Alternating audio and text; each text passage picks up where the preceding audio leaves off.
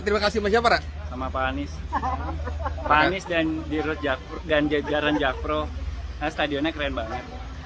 Thank you, Pak Anies.